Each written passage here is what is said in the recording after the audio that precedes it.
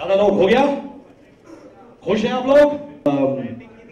किसे? Seventeen sir सत्रह है क्या सर कि ज़्यादा है?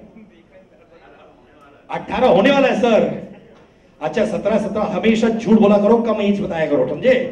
ऑलराइट आओ, कुर्सी कुर्सी ले लो, आ जाओ. ऑलराइट माय फ्रेंड्स हमारी सिस्टर्स थोड़े खड़े हो जाएँगे, पैसे मिले हैं इसके लिए, बाबा. माइक सर्कुलेट करिए.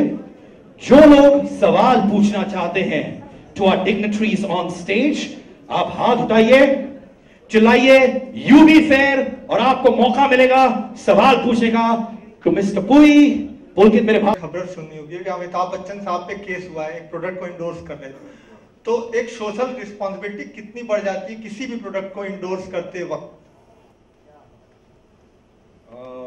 देखिए हमारा मीडियम ऐसा है सोशल रिस्पॉन्सिबिलिटी हम पर होती ही होती है क्योंकि people actually get inspired by us they get motivated by us and they follow the examples that we set so it also becomes a responsibility for us to take care that whatever we are doing is correct and is in the right spirit.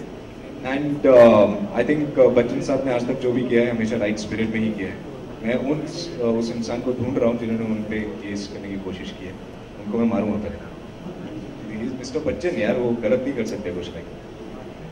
Secondly जब आप किसी product को endorse करते हैं तो एक बन जाता है कि दबाव बन जाता है। और आप जो कमिट कर रहे हैं, आम आदमी से कि मैं अगले दिन से गोरा होना शुरू हो जाएँगे तो अगर वो कमिटमेंट पूरा नहीं होता है, ये खुदा ना खास्ता तो आपके ऊपर भी एक प्रेशर होता है। तो उस चीज़ को आप कैसे हैंडल करेंगे? उस चीज़ को कैसे हैंडल करेंगे? देखिए, अब मैं आपके साथ पूरा टाइम तो रह नहीं सकता हूँ। आप कितनी बार क्रीम लगा रहे हैं कितनी बार नहीं लगा रहे हैं उसके मैं तो काउंट रख नहीं सकता हूँ। अगर आप फॉलो करेंगे प्रॉपर इंस्ट्रक्शन इंस्ट्रक्शन तो obviously there a science behind it और uh, बिना साइंटिफिक रिसर्च के ऐसे कोई प्रोडक्ट निकलता नहीं है मार्केट में। And I think this is a phenomenal product and it does what it promises